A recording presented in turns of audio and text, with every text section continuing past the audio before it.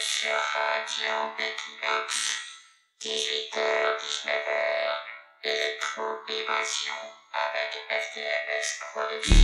Bonsoir à tous, je suis Delphine Cerisier de l'association FTMS Productions. Pour cet événement, nous sommes partenaires avec Radio Equinox et les passionnés des claviers. Je tiens à dire que c'est un grand honneur pour nous d'avoir contribué à l'organisation de cette émission exceptionnelle. Nous tenons tout particulièrement à remercier Cop France pour sa participation, ainsi que tous les artistes qui vont nous faire vibrer ce soir avec divers instruments de la marque Korg. Merci également à tous les auditeurs qui sont avec nous ce soir. Bonne soirée à vous tous et bonne écoute.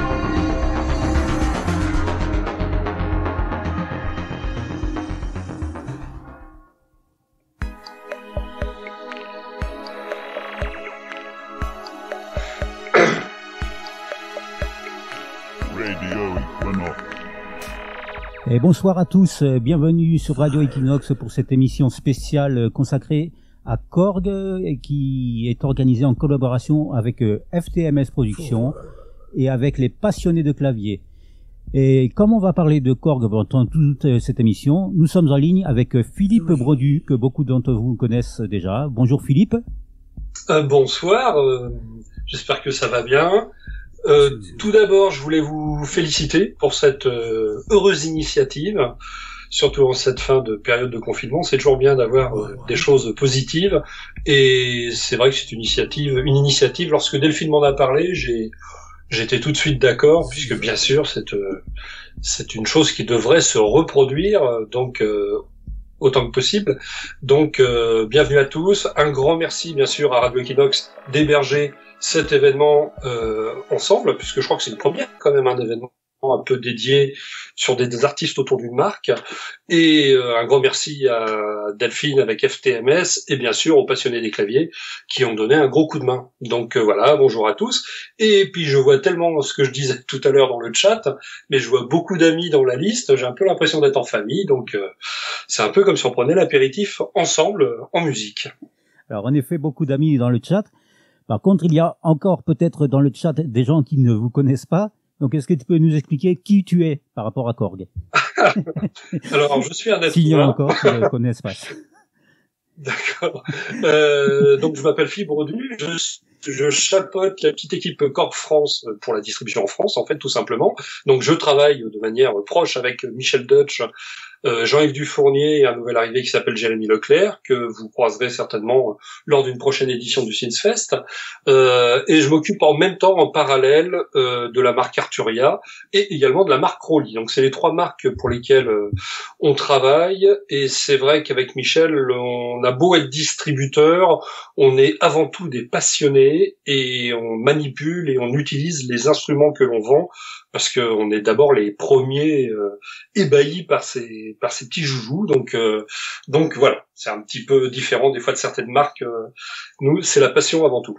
Voilà. Et alors justement, comme tu viens de nous parler de Michel Dust, on l'a juste avant entendu une de ses démonstrations qu'il a faite avec le Korg Wave State. Est-ce que tu peux nous parler un peu de, de cet instrument alors? Oui, tout à fait. Alors Korg avait sorti cet instrument, si je ma mémoire est bonne, en 91. Il y avait eu un premier qui s'appelait la Wave Station, euh, qui était donc ce principe de travailler euh, des échantillons euh, que l'on met bout à bout pour générer ce que l'on appelle des wave séquences.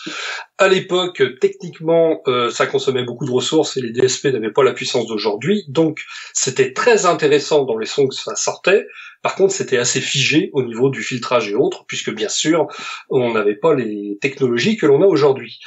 Euh, Korg récemment a replanché sur le dossier en fait pour faire un, donner un grand coup de jeune à cet instrument. Il a été repensé de A jusqu'à Z et ils sont repartis de ce principe wave séquence, sauf que maintenant on peut, enfin Michel en parlait mieux que moi puisque c'est lui le démonstrateur, il a eu beaucoup plus dans les mains que moi, mais c'est un instrument donc on va pouvoir le triturer, le tordre dans tous les sens.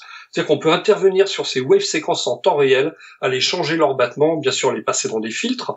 On retrouve à l'intérieur un peu les filtres du King Korg, qui était un synthétiseur qui avait la particularité d'avoir des, des, modélisations de filtres d'autres synthétiseurs. À l'époque, on avait fait toute une série de vidéos avec Olivier Briand où on comparait des synthés comme le MS-20, comme le Minimoog, comme l'Oberheim, etc., avec les modélisations qui étaient à l'intérieur du King Korg, et c'était bluffant. Et ben, ces filtres ont été remis dans le wave state et on peut venir filtrer ces wave séquences euh, de la même façon.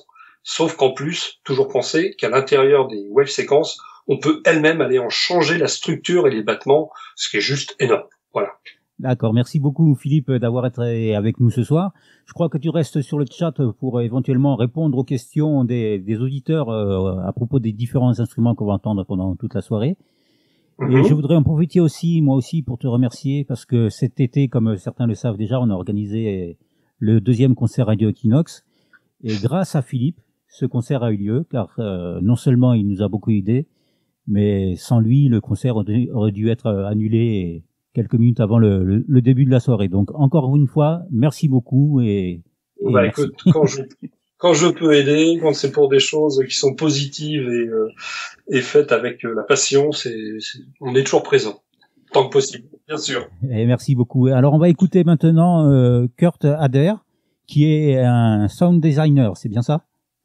Tout à fait. Alors Kurt est la personne qui est euh, responsable, enfin c'est grâce à lui, euh, qui est responsable de plus de la moitié des, sons du Chronos à l'intérieur du Chronos et toute, qui crée toutes les bibliothèques de sons qui s'appellent Capro. Euh, il travaille d'ailleurs également pour d'autres marques, hein, puisque c'est lui qui a fait les sons dans le Mugwan, mais euh, c'est vrai qu'il est surtout connu pour le sound design Korg euh, autour du Chronos, où il a fait toute une librairie qui est absolument fantastique avec des sons euh, qui mettent tout le monde d'accord en général. Et ben voilà. Alors justement, on va écouter d'abord quelques sons qu'il a créés et ensuite euh, un de ses morceaux qui va jouer sur le Korg Chronos 2 qui s'appelle Shadows of Love. Et on écoute ça tout de suite, on se retrouve juste après. À tout à l'heure et merci à tous les gens qui sont sur le chat. Je, vais avoir du mal à citer tout le monde, vous êtes très très nombreux. Donc euh, bonsoir à tous et bonne soirée. Bonne soirée.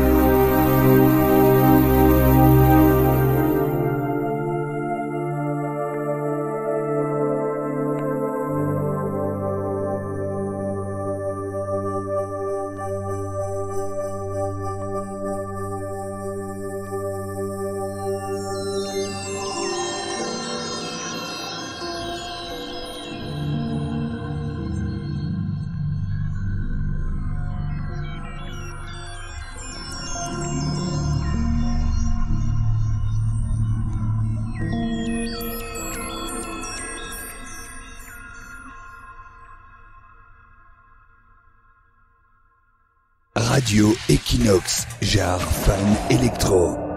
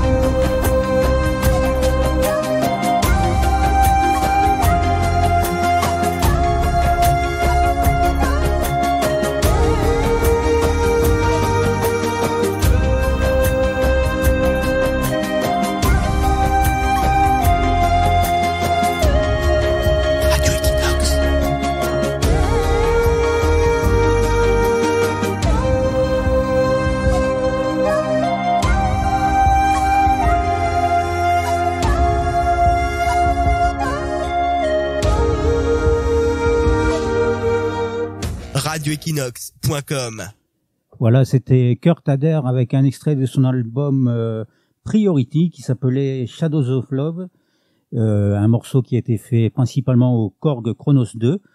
Et euh, on va encore écouter un morceau de Kurt Adair, mais cette fois c'est une collaboration. Alors j'espère que vous m'excuserez ma prononciation des langues étrangères avec Johannes Schmolling, qui est allemand comme Kurt, qui est un, un ancien membre du groupe euh, que vous connaissez certainement tous, Tangerine Dream. Euh, L'extrait qu'on va écouter a été joué au Korg Chronos 2 et au prologue. Et il s'appelle White Eagle. C'est toujours un extrait de l'album Priority de Kurt. Et on se retrouve tout de suite après. Bonne soirée.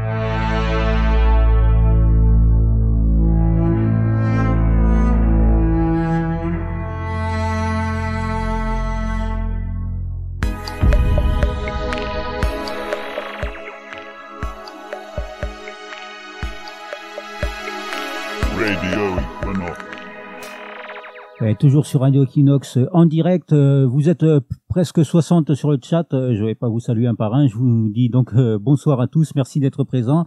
Et on va continuer cette soirée consacrée à Korg avec Olivier Briand qui va nous faire une démonstration de plusieurs instruments.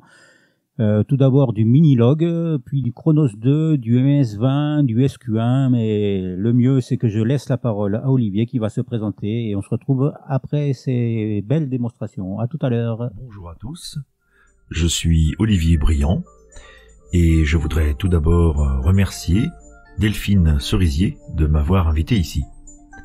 Je suis un utilisateur de longue date euh, des instruments Korg depuis les années 80 où j'ai commencé à jouer en groupe avec du Polysix et du DW8000. Dès lors, euh, j'ai étoffé ma collection avec euh, du 770, euh, des MS-20, du PE-1000, du Prophecy, du MS-2000, du Microkorg, des Mini-Pops, K-Oscillator, etc. Donc, je ne suis pas seulement un spécialiste du synthétiseur démonstrateur Korg, mais aussi un véritable passionné de la marque. J'ai donc fait pas mal de démonstrations pour le King Korg, le piano numérique SP170S, le Minilog, premier du genre, et le XD, plus récemment, le Chronos 2, le Prologue, le MS20M Kit et le Korg ARP Odyssey, en comparaison avec l'original, que je possède depuis de nombreuses années. Merci à Philippe Bredu pour tout cela et d'avoir pu devenir un artiste endorsé Korg. Ce qui est pour moi remarquable vis-à-vis de cette marque, c'est la maîtrise de sa versatilité, à savoir d'avoir su garder l'excellence dans la qualité des synthés analogiques, numériques, des workstations au top, mais aussi dans la modélisation. Par ailleurs, c'est une marque hein, qui a su garder un esprit d'avant-garde en concevant des produits à la pointe des nouvelles technologies, tout en gardant le souci de proposer des produits comme les Volca, de qualité, mais accessibles pour toutes les bourses, que j'ai eu l'occasion euh, de faire essayer à des collégiens par exemple. J'ai même le K-Oscillator dans mon téléphone, c'est dire. Bref, Korg, j'adore. Je vous invite maintenant à écouter un passage improvisé joué avec le Minilog XD.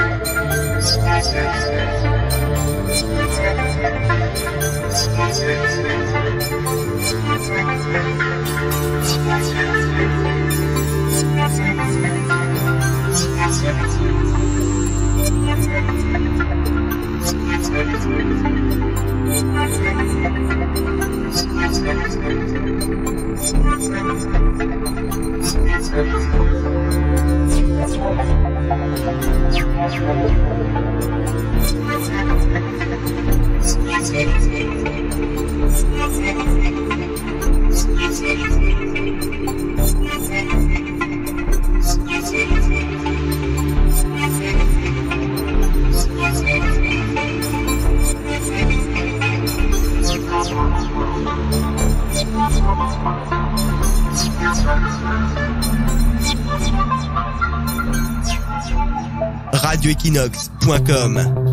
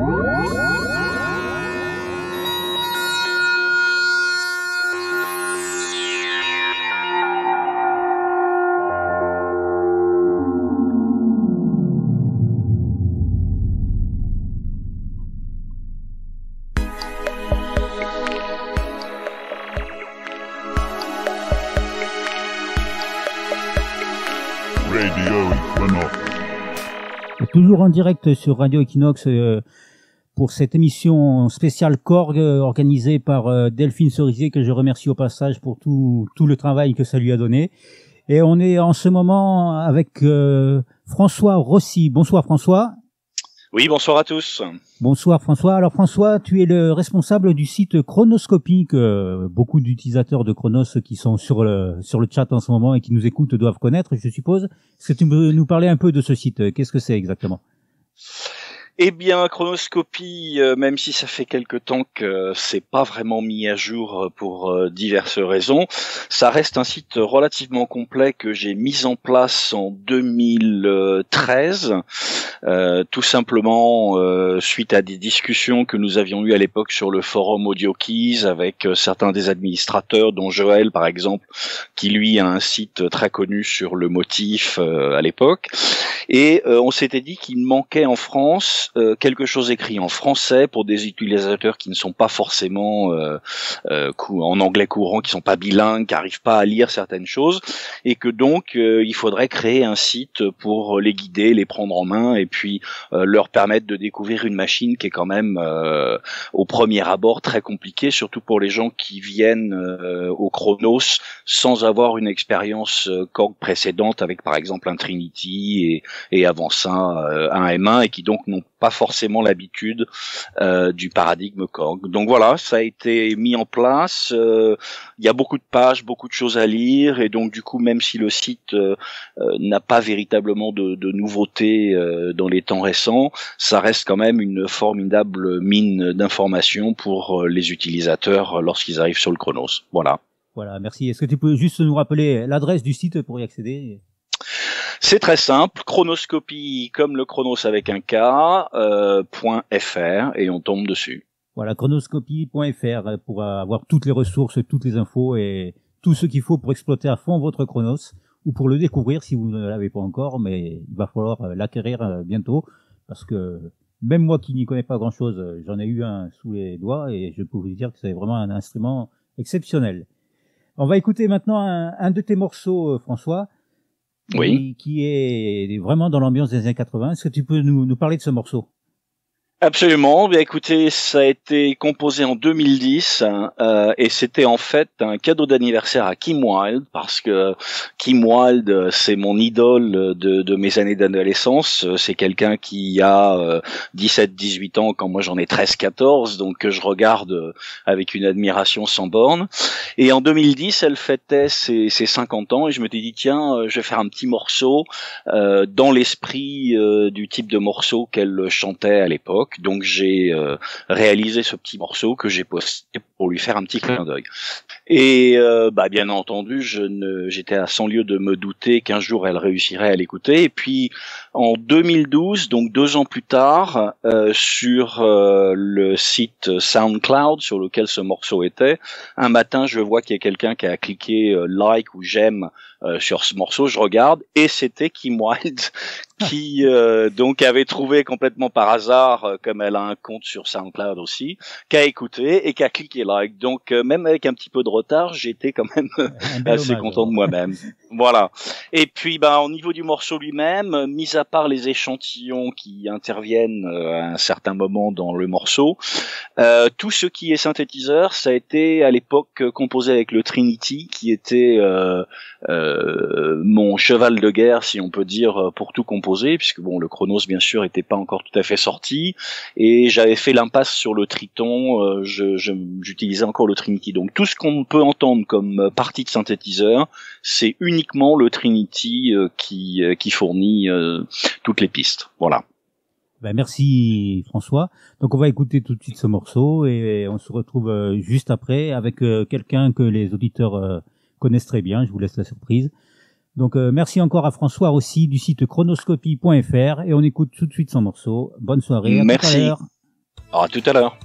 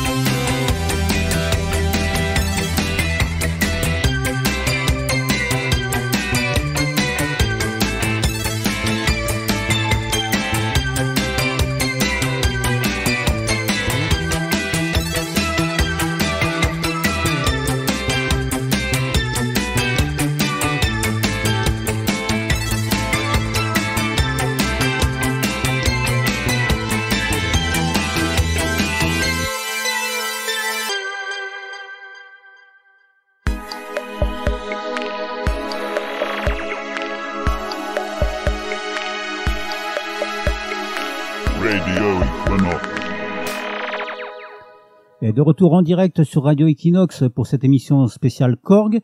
Et nous sommes avec euh, quelqu'un que les auditeurs de Radio Equinox connaissent très bien et depuis très longtemps. C'est Francis Rimbert. Bonsoir Francis. Bonsoir, salut Michel. Michael, euh, salut à tous.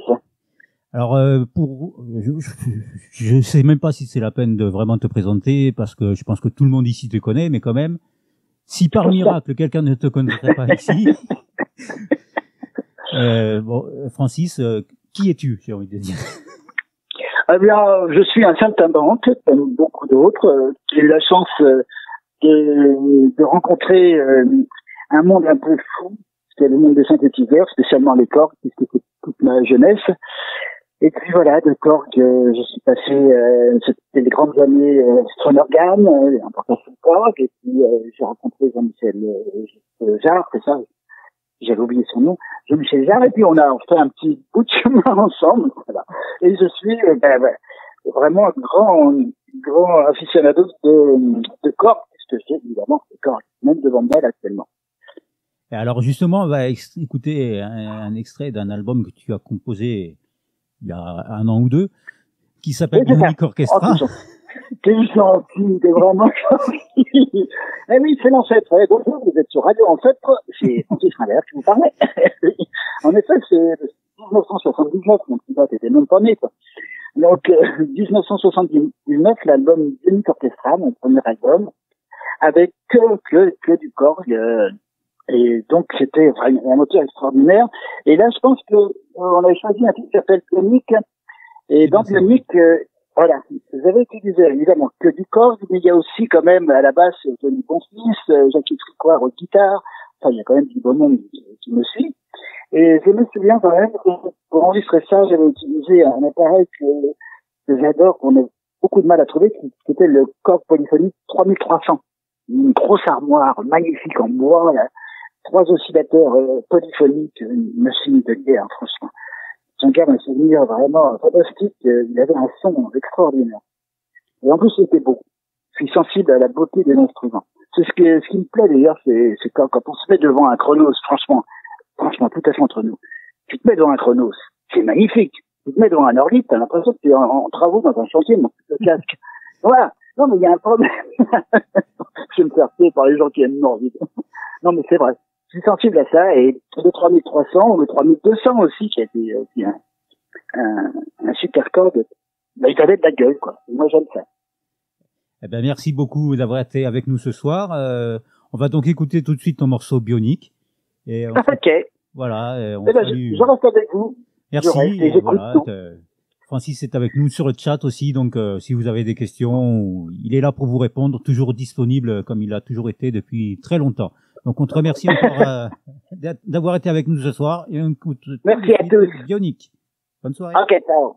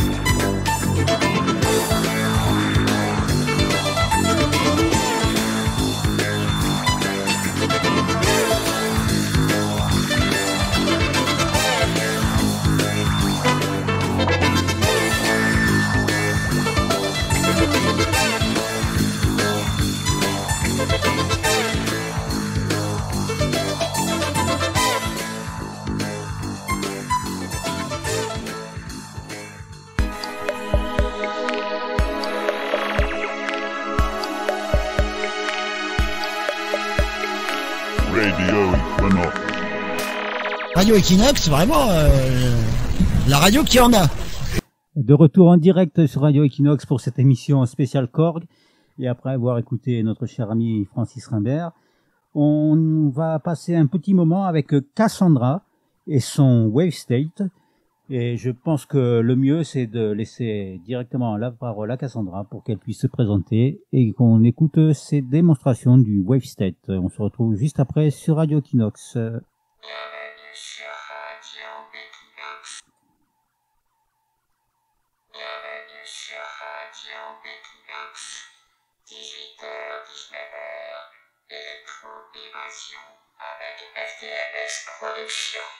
Bonjour à tous. Euh, donc voilà, je m'appelle Cassandra, je viens de Suisse et je tiens avant tout à dire combien je suis heureuse de faire partie de cette émission spéciale Korg. Euh, être là aux côtés de mes plus grands mentors, c'est vraiment un très très grand honneur pour moi. Mais cet honneur, je le dois avant tout à Michel Pébreuil et à Delphine Cerisier. C'est eux qui m'ont donné cette chance, donc un très grand merci à eux. Donc voilà, je suis pianiste de métier, euh, également auteur, compositeur, interprète, euh, démonstratrice de synthé aussi de toutes sortes sur ma chaîne YouTube. Mais depuis toujours, j'ai surtout été vraiment une très grande passionnée des synthétiseurs, étant sans cesse à la recherche de la dernière innovation du marché. C'est vrai que j'ai eu la chance de trouver un wave et je dois dire que là, je suis devenue complètement accro à cet ovni.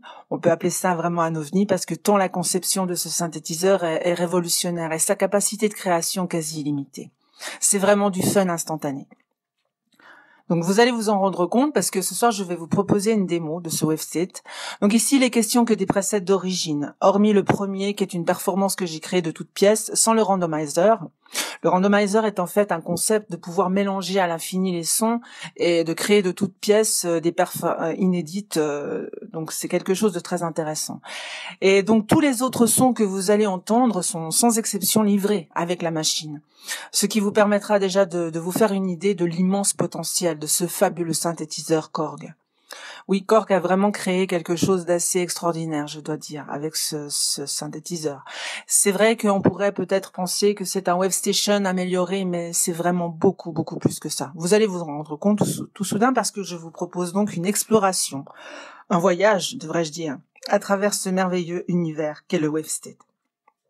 Je vous souhaite une belle écoute à tous et soyez prêts hein, parce que ça déchire.